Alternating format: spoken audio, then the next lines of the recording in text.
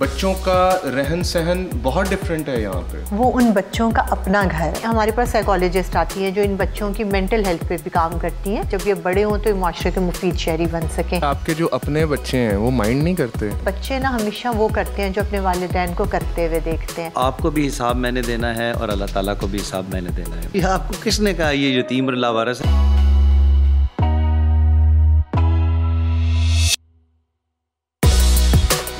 नाम क्या है? सोफिया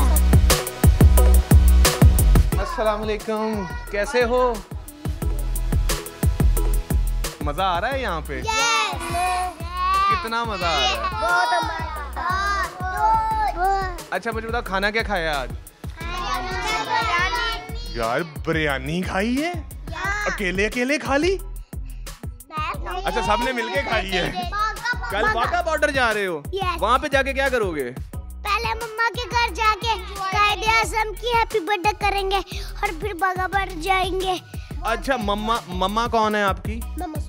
मम्मा। का नाम क्या है? सोफिया। हॉकी खेलने का भी शौक किसको है? कोई जा रहे हैं हॉकी खेलने?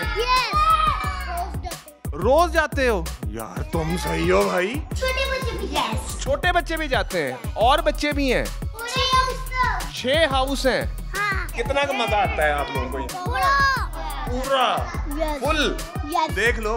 Yes. मैंने अभी आप लोगों की अंदर तस्वीरें देखी हैं. आपने क्या बनना है? I want to be army officer आप भी फौजी बनोगे. आर्मी ऑफिसर बनना है फौजी ऑफिसर तो डॉक्टर की तस्वीरें भी मैंने देखी हैं भाई.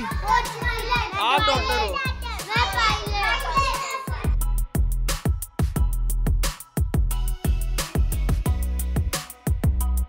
मैं अभी एक और घर में आया हूँ. आए आपको दिखाते हैं.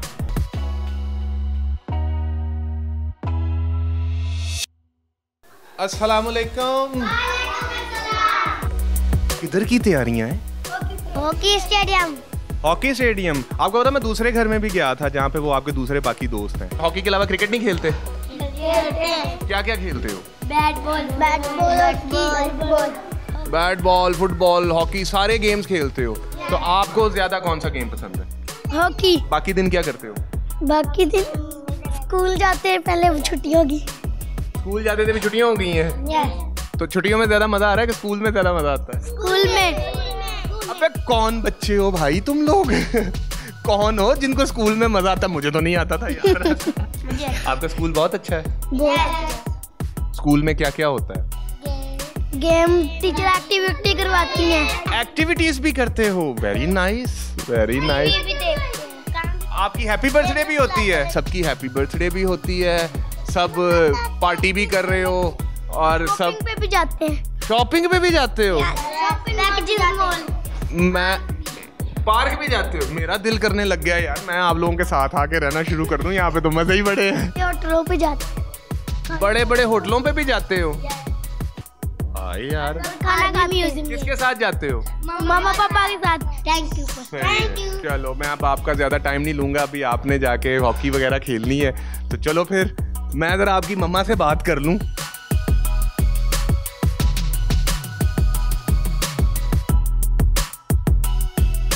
मेरे साथ इस वक्त मौजूद हैं डीआईजी पंजाब महबूब असलम साहब और 146 बच्चों की मामा, जिनको बच्चे बार बार जिनका ज़िक्र कर रहे थे, वो मामा मेरे साथ मौजूद हैं। अस्सलाम वालेकुम सर।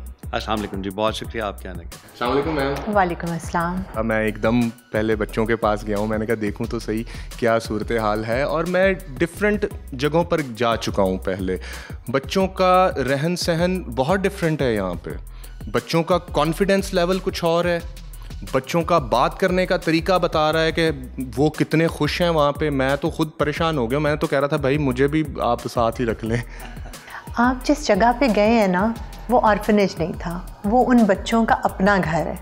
इन तमाम बच्चों का अपना घर है। कि अपना घर है वो ट्रू मीनिंग में ही अपना घर है। बिल्कुल और ये बच्चे इस घर को अपना घर ही समझते हैं और मुझे अपनी मामा समझते हैं। और जो आप कह रहे हैं ना कि उनका कॉन्फिडेंस उनकी खुशी तो बचपन में जब बच्चों को ये तमाम खुशियाँ मिलेंगी तो बच्चों के चेहरे से खुशी नज़र आएगी। जब उन्हें माँ बाप का प्यार मिलेगा यहाँ उनके पास पापा हैं जो उनके बहुत सारे लाड उठाते हैं। मामा हैं जो हर वक्त उनके साथ प्यार करती हैं। हर खातून ये कहती है कि जो भी हो मेरे बच्चों का हो। आप बांट रही हैं? अल्लाह ताला ने ही हमें इस काम के लिए चुना है। हम लोग बहुत आम से इंसान हैं। बस अल्लाह ताला ने उंगली पकड़ी और हमारे ज़िम्मे लगा दिया कि इन बच्चों के वालदेन बन जाओ। और जब अल्लाह ताला का हुक्म है कि जो आप अपने लिए और अपनी औलाद के लिए करो तो आप देने के लिए भी वही चीज़ पसंद करो किसी को। मैम मैं जब बच्चों से मिला हूँ कोई कह रहा है मैंने डॉक्टर बनना है कोई कह रहा है मैंने पायलट बन मगर ये उनके पापा का असर ज़्यादा है जो सारे कह रहे थे हमने फोर्सेज में जाना है। कोई कह रहा था मैंने पुलिस बनना है मैंने फौजी बनना है। बेटे का स्पेशली पहला हीरो बाप होता है। तो ज़ाहिर है वो अपने वालिद में देखता है पहला हीरो। वो जो शोर मचा रहे हैं ना मैंने कहा खाना खाया कहाँ घूमने जा रहे? कहते हम मॉल में गए थे मम्मा के साथ सोफिया मामा के साथ गए थे. मैंने कहा यार सोफिया मामा मतलब वो सबको किस तरह छः घर हैं। अभी मैं एक में गया हूँ फिर मैं अचानक दूसरे में गया हूँ तो वो बच्चे निकल रहे थे हॉकी खेलने के लिए। हम्म, हम्म। मुझे कह रहे थे भाईजान बस भाई हम हमारी हॉकी ना खराब करें तो आप उनसे जाके बात कर लें। तो वो हॉकी खेलने भी जा रहे हैं। वो माशाल्लाह वो फैसिलिटीज़ आपने उनको प्रोवाइड की है अल्लाह के फजल करम से, जो कि हमारे आम माशरे में नहीं है वो प्रिविलेज जिस हैसियत के मुताबिक हमने अपने बच्चों को बड़ा किया है उनकी परवरिश की है तो हम यही कोशिश कर रहे हैं कि इन बच्चों को जिन्हें हमने अडॉप्ट किया है और अल्लाह ताला ने हमारे ज़िम्मे लगाया कि इन बच्चों के वालदेन बने, हम इन्हें तमाम फैसिलिटीज़ दें। और अपने बच्चों के मामला में समटाइम्स हो जाता है कि अच्छा चलो इन्हें आप आउटडोर एक्टिविटीज़ में नहीं भिजवा रहे, या समटाइम्स कुछ होता है, लेकिन इन बच्चों के लिए स्पेशली हमने थोड़ा एक कदम बढ़ के कोशिश की है, जैसे हमारे पास साइकोलॉजिस्ट आती हैं जो इन बच्चों की मेंटल हेल्थ पे भी काम करती हैं, क्योंकि ये बच्चे डिफरेंट बैकग्राउंड से आए हुए हैं और इन्होंने डिफरेंट ट्रामाज देखे हुए हैं डिफरेंट मुश्किल देखी हैं। तो हम ये कोशिश करते हैं कि इन बच्चों की प्रॉपर पर्सनैलिटी की ग्रूमिंग हो ताकि जब ये बड़े हों तो ये माशरे के मुफीद शहरी बन सकें। इसके अलावा इन बच्चों के जैसे ही हमारे पास आते हैं कंप्लीट इनके ब्लड टेस्ट होते हैं। हर तरह के फिर डॉक्टर्स हैं हमारे पैनल पे न्यूट्रिशनिस्ट हैं, घर का खाना तो हम खुद डिसाइड करते हैं ना कि क्या बनेगा सुबह, दोपहर, शाम। वहाँ का, उन तमाम घरों का खाना हमारी न्यूट्रिशनिस्ट जो हैं वो प्लान करती हैं कि इस महीने में हर वीकली बेसिस पे कि बच्चों को क्या क्या खाना देना है ताकि इनके अंदर जो डेफिशिएंसीज़ हैं और वो चीज़ें उनको पूरा किया जा सके। तो इसलिए कोशिश करते हैं कि एक स्टेप थोड़ा सा बढ़ के उन बच्चों का ख्याल रखें। तो इससे आपके जो अपने बच्चे हैं वो माइंड नहीं करते? क्योंकि हमारे माशरे में ये आम देखी हुई बात है। भाई बहनों में मसला होता है। बिल्कुल वो ये नहीं कहते वो ये नहीं कहते कि ममा आप हमें टाइम नहीं पूरा देती हैं आप ये 146 जो बच्चे हैं आपके पास इनको ज़्यादा टाइम देती हैं और इनके लिए सारा दिन परेशान रहती हैं इनको फैसिलिटेट करने के चक्कर में रहती हैं हमें आप लिफ्ट नहीं कराती? आप ये देखें कि बच्चे ना हमेशा वो करते हैं जो अपने वालदेन को करते हुए देखते हैं।